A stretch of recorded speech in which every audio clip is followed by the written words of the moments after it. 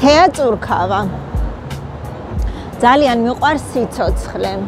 ვაფასებ უფლის მიერ ნაჩქარ ყველა გათენებულ დღეს. ჩემთვის ბედნიერება, როდესაც სახში მივდივარ და ოჯახის წევრები ჯამრთელები მხვდებიან.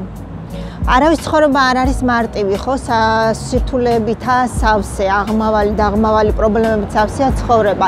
ჩემი ცხოვრება პირადად შვიდი არასდროს არ ყოფილა, მაგრამ ყველა აი ამ პრობლემას უყურებ, როგორც ამოსახსნელ ამოცანას, რომელიც უნდა მოიხსნას და უნდა გადავიდე შემდეგ ეტაპზე. ფიქრობ, რომ შენი ცხოვრება უნდა გახადო მრავალფეროვანი, სიცოცხლით სავსე.